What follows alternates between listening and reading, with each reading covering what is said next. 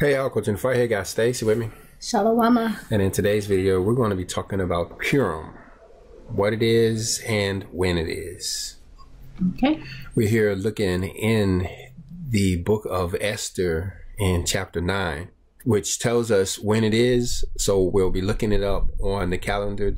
And then it talks about what it is that we'll be doing on those dates, how it is that we are to celebrate Purim.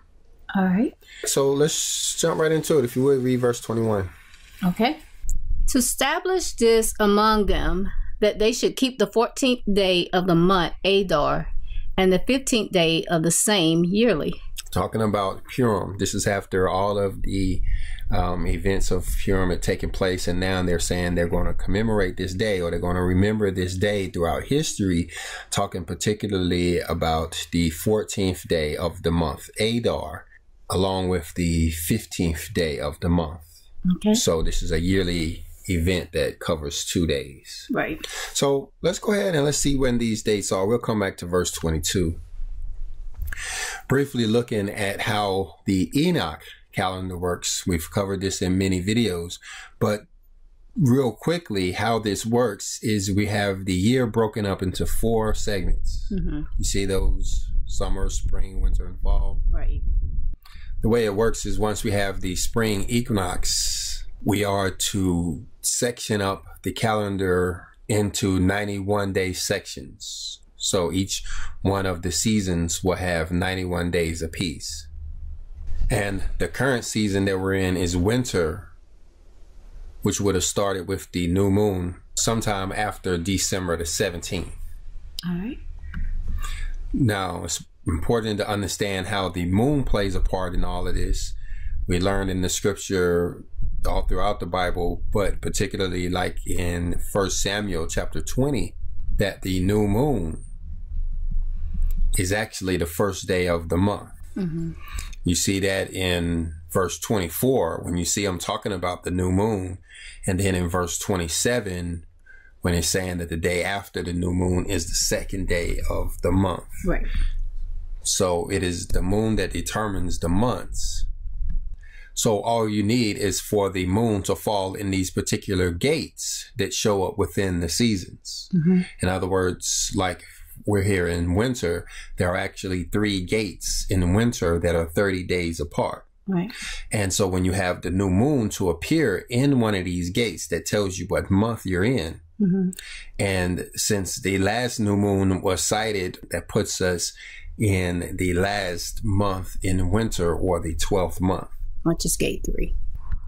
That gate would have opened after February the 15th. So looking at our celestial clock calendar or our Enoch calendar, we can get a different idea, maybe a better picture of this. You have the winter season and then you have the new moon falling over here and what we know is Adar, Mm-hmm. the 12th month. So that means that Purim falls later this month. It falls in the um, winter season. Yeah, the 12th month and the 14th and 15th day of the month. So here we have a calendar.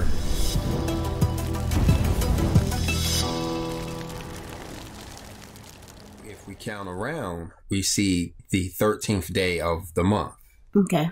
At sundown is when we are to go into the first part of Purim, the part you hear about in the book of Esther, chapter 3, 13, 9, and 1. Mm-hmm. And then you have the uh, main event, which we read about in chapter 9, verse 27. But when we look back at verse 21, it says that it extends through the 15th. Why do we celebrate Purim? Well, let's drop down and read a few verses lower um, that kind of talks about that. Starting there in verse 25, let's just skim through these. But when Esther came before the king, he commanded by letters that his wicked device, which he devised against the Jews, should return upon his head, and that he and his son should be hanged on the gallows. So this is the tables being turned back there in Purim. So that's mm-hmm. what this Purim celebration is about: is the heads becoming the tail and the tails becoming the heads, where the Israelites actually take their rightful positions after being under these persecutions for all of these years. So just like the other festivals and feast days, it's kind of a representation of that or dress rehearsal for that event. You know, just remembering that this has actually happened. Mm-hmm. Wherefore they call these days Purim after the name of Pur. Therefore, for all the words of this letter, and of that which they had seen concerning this matter, and which had come unto them, the Jews ordained and took upon them, and upon their seed, and upon all such was joined themselves unto them, so as it should not fail, that they would keep these two days according to their writings, and according to their appointed time every year. So this became a part of what they were doing. hmm And you definitely have to go back and read the entire story to get a full understanding of exactly what happened. Well, if you want to fill in a lot of blanks, you can go to the Legends of the Jews. I'll give a link in there, maybe even one to a video that I listened to that talks about this event in great detail. Again, coming from the Legends of the Jews. But as far as why we celebrate this festival, there was one thing that I wanted to bring up in a future video, and that was whether our Messiah actually celebrated this day Right. in John chapter 5 and verse 1, it's talking about the feast of the Jews. hmm And you could hear about some miracles that our Messiah did back there in that chapter. But then when you get to the very next chapter, it's talking about the feasts of the Jews, but this time it's talking about Passover. hmm So if you're talking about Passover in chapter 6, are you talking about Purim in chapter 5? Right, because it says, and the Passover was near.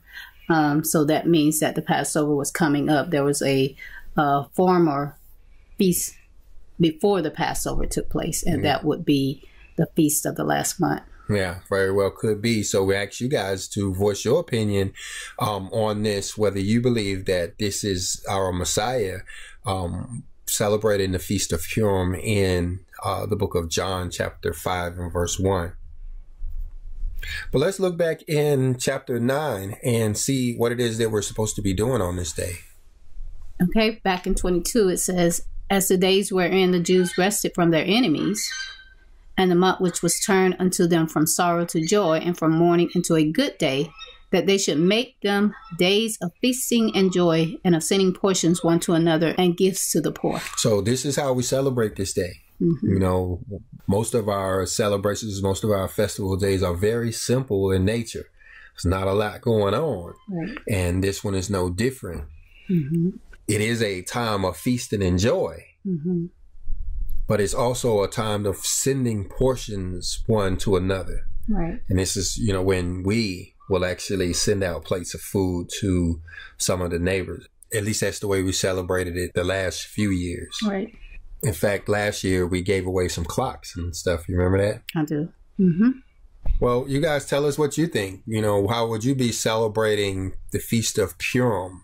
Will you be giving gifts to the poor or sending out portions? How would your day of feasting and joy look? Maybe you can give the rest of us some ideas hmm that we can talk about in a future video. Right. So, y'all let us know what you think below, and we'll see you down there. Shalom. Salawama.